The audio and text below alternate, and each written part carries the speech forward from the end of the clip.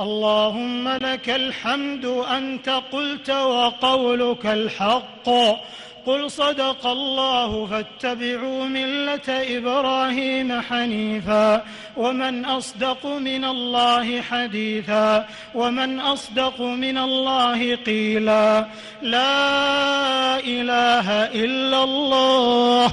المتوحد في الجلال بكمال الجمال تعظيما وتكبيرا. المتفرد بتصريف الأحوال على التفصيل والإجمال تقديرا وتدبيرا. المتعالي بعظمته ومجده الذي نزل الفرقان على عبده ليكون للعالمين نذيرا. ونحن على ما قال ربنا وخالقنا ورازقنا من الشاهدين ولما أوجب وألزم غير جاحدين والحمد لله رب العالمين وصلوات الله وسلامه على خاتم النبيين وإمام المرسلين وعلى آله الطيبين الطاهرين وصحابته الغر الميامين وزوجاته الطاهرات أمهات المؤمنين وعنا معهم برحمتك يا أرحم الراحمين اللهم لك الحمد على الدوام ولك الحمد على التمام ولك الحمد في البدء والختام. أنت أحق من ذكر وأحق من عبد وأرأف من ملك وأنصر من ابتغي وأجود من سئل وأكرم من أعطى. كل شيء هالك إلا وجهك. أنت الواحد لا شريك لك والأحد لا ند لك. كل شيء هالك إلا وجهك. لن تطاع إلا بإذنك ولن تعصى إلا بعلمك. تطاع فتشكر وتعصى فتغفر. أقرب شهيد وأدنى حفيظ. حلت دون النفوس وأخذت بالنواصي. وكتبت الآجال ونسخت الآثار. القلوب لك مفضية. والسر عندك علانية والحلال ما أحللت والحرام ما حرمت والدين ما شرعت والخلق خلقك والأمر أمرك والعبد عبدك. وأنت الله الرؤوف الرحيم.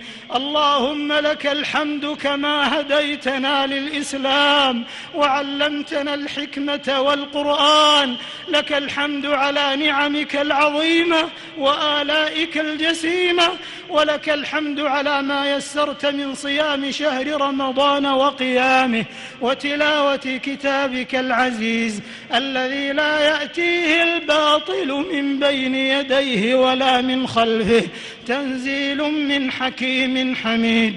اللهم إنا عبيدك بنو عبيدك بنو إمائك نواصينا بيدك ماض فينا حكمك عدل فينا قضاؤك نسألك بكل اسم هو لك سميت به نفسك أو أنزلته في كتابك أو علمته أحدا من خلقك أو استأثرت به في علم الغيب عندك. أن تجعل القرآن العظيم ربيع قلوبنا ونور صدورنا وجلاء أحزاننا وذهاب همومنا وغمومنا وسابقنا ودليلنا إليك وإلى جناتك جنات النعيم اللهم ذكرنا منه ما نسينا وعلمنا منه ما جهلنا وارزقنا تلاوته آناء الليل وأطراف النهار على الوجه الذي يرضيك عنا. اللهم ارزقنا تحليل حلاله وتحريم حرامه والإيمان بمتشابهه والعمل بمحكمه وأن نتلوه حق تلاوته اللهم اجعلنا ممن يقيم حروفه وحدوده ولا تجعلنا ممن يقيم حروفه ويضيع حدوده. اللهم اجعلنا من أهل القرآن الذين هم أهلك وخاصتك يا ذا الجلال والإكرام.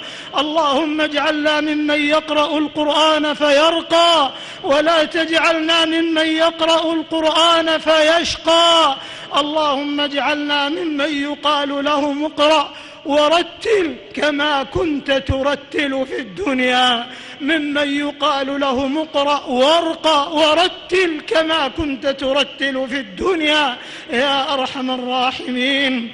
اللهم ألبسنا به الحلل وأسكنا به الظلل وأسبغ علينا به النعم وادفع به عنا النقم واجعلنا به عند الجزاء من الفائزين وعند النعماء من الشاكرين وعند البلاء من الصابرين ولا تجعلنا ممن استهوته الشياطين يا رب العالمين اللهم اجعل القرآن العظيم لقلوبنا ضياء ولأبصارنا جلاء ولأسقامنا دواء ولذنوبنا ممحصا وعن النار مخلصا وعن النار مخلصا برحمتك يا أرحم الراحمين.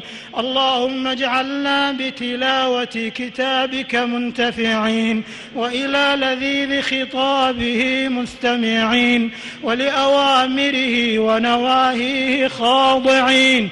وعند ختمه من الفائزين. وعند ختمه من الفائزين. وعند ختمه من الفائزين. برحمتك يا أرحم الراحمين. اللهم انفعنا وارفعنا بالقرآن العظيم. الذي رفعت مكانه وأيدت سلطانه وبينت برهانه وقلت يا أعز من قائل سبحانه فإذا قرأناه فاتبع قرآنه ثم إن علينا بيانه أحسن كتبك نظاما وأفصحها كلاما وأبينها حلالا وحراما محكم البيان ظاهر البرهان محروس من الزيادة والنقصان. فيه وعد ووعيد وتخويف وتهديد.